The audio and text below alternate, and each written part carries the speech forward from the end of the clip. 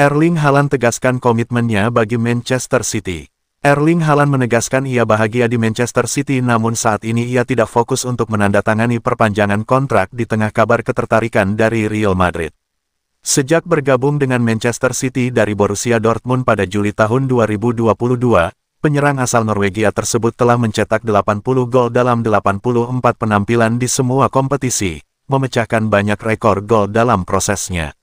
Erling Haaland telah mencetak gol sebanyak 28 kali dalam 31 pertandingan sejauh musim ini. Yang terbaru ia mencetak 5 gol dalam kemenangan 6-2 di Piala FA atas Luton tahun pekan lalu, dan mencetak 1 gol dalam kemenangan derby 3-1 City atas Manchester United di Premier League pada hari Minggu. Meskipun pemain berusia 23 tahun itu, yang secara luas dianggap sebagai salah satu penyerang terbaik di sepak bola dunia, belum menyelesaikan dua musim penuh di Man City, ia terus dihubungkan dengan kabar kepindahannya ke klub raksasa Spanyol, Real Madrid, yang diketahui sedang mencari penyerang baru di musim panas ini. Laporan terbaru menyebutkan bahwa The Citizens memiliki rencana untuk memperpanjang kontrak Haaland di Etihad di mana kesepakatan saat ini akan berakhir pada Juni tahun 2027. Juga telah diklaim bahwa Manchester City sangat ingin meningkatkan klausul rilis dalam kontrak Erling Haaland saat ini dalam upaya untuk memperkuat peluang mereka untuk mempertahankan sang penyerang. Saya sangat bahagia, terutama dengan orang-orang yang ada di sekitar saya. Manajer, para direktur, Dewan Direksi adalah sekelompok orang yang luar biasa dan saya sangat bahagia.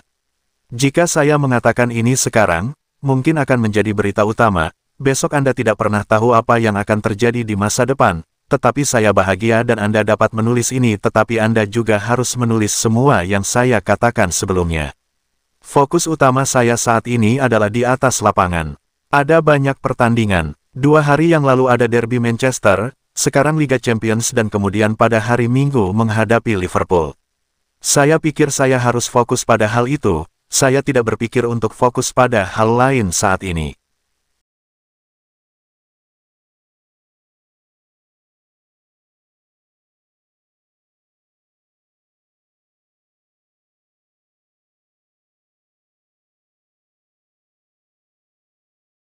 Real Madrid intip peluang bajak Phil Foden dari Manchester City. Real Madrid dikabarkan telah membuka peluang untuk mendatangkan Phil Foden dari Manchester City pada jendela transfer musim panas tahun ini.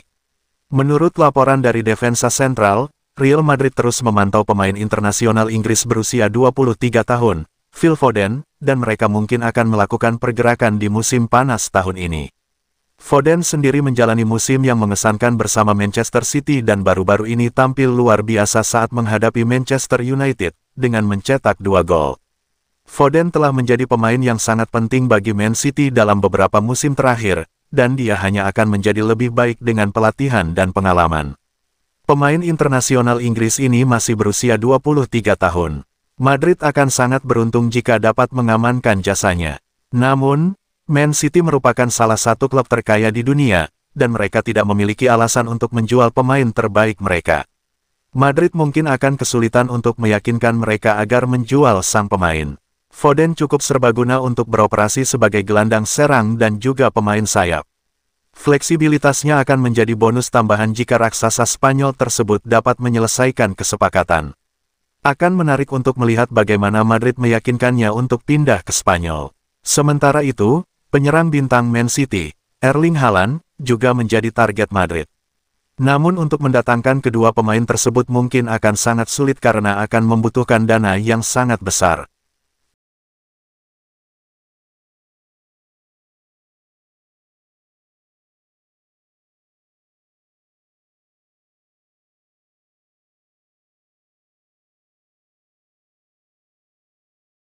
Sejak awal, Pep Guardiola sudah dibuat terkesan oleh Erling Haaland. Pep Guardiola mengatakan bahwa ia terkesan dengan sikap Erling Haaland di luar lapangan saat sang penyerang bergabung dengan Manchester City. Erling Haaland pindah ke Etihad Stadium pada musim panas 2022 dan sejak saat itu telah memecahkan banyak rekor dalam hal mencetak gol termasuk mencetak gol sebanyak 80 kali dalam 80 pertandingan sebagai starter. Pemain asal Norwegia tersebut juga berperan penting dalam keberhasilan Manchester City memenangkan treble musim lalu dan secara luas dianggap sebagai salah satu pemain terbaik di dunia, berada di urutan kedua dalam voting Ballon d'Or terbaru.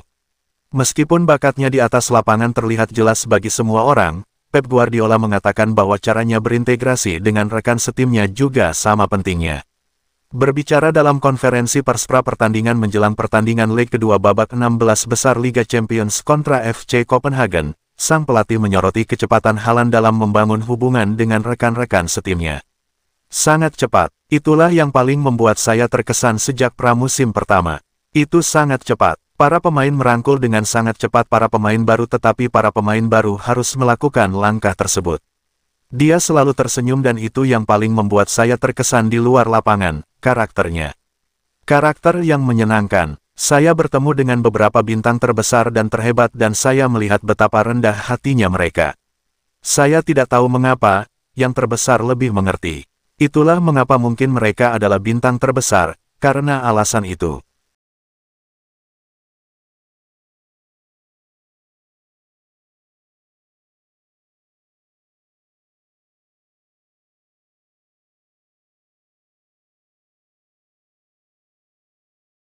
Dulu pemain termahal, kini masa depan Jack Grealish abu-abu.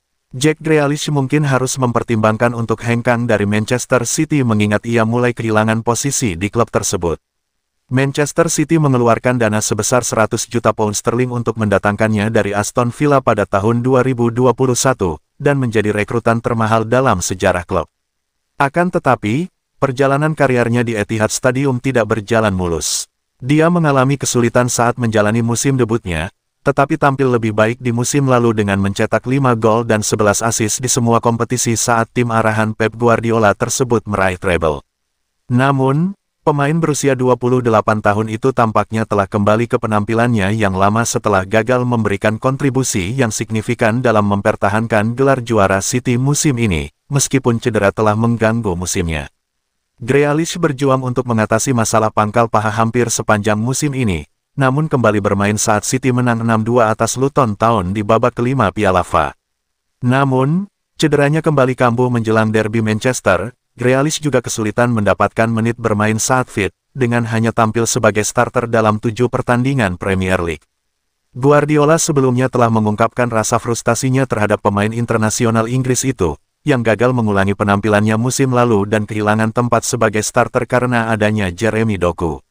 Meskipun belum ada klub yang menunjukkan ketertarikannya, kepindahan realis dari Etihad perlahan-lahan berubah menjadi mimpi buruk dan kepergiannya mungkin diperlukan untuk menyelamatkan karirnya.